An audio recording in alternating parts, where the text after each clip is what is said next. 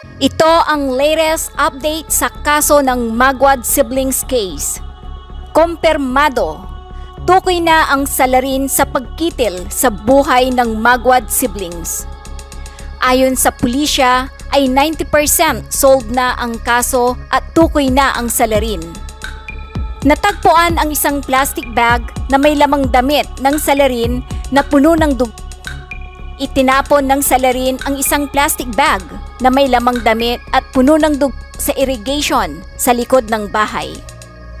Subalit hindi ito umabot sa tubig dahil sumabit ito sa isang kahoy. Nadiskubre ito ng kapulisan at soko. Natagpuan ang isang plastic bag sa may ilog kung saan hinagis ng salarin ang magiging ebidensya. Pero ito ay sumabit sa maliit na sanga at doon na nga na-confirm na siya nga ang kumitil sa buhay ng dalawang miyembro ng Magwad family.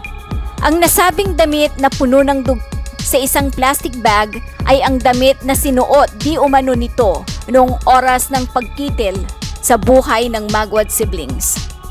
Samantala, pumasok na ang NBI sa investigasyon kaugnay sa Magwad sibling case at nag-umpisa na sa kanilang parallel investigation. Ayon sa interview ng news team, naghugas pa raw ito ng katawan ang salarin at nagpalit pa ng underwear at pantalon sa laundry area sa bahay ng Magwad pagkatapos ng insidente. Yung mga damit na yon ay inilagay niya sa plastic bag at itinapon sa irrigation. Swerte na hindi umabot sa tubig yung plastic bag dahil sumabit ito sa maliit na sanga dahilan para madiscover ito ng PNP at SOCO. Isang informant din ang nagtip sa news team na nawala daw yung mga cellphones ng mga biktima samantalang ang lone survivor ay nakagamit pa ng phone para mag-post sa Facebook at ipaalam sa group chat ng kamag-anak ang nangyaring insidente.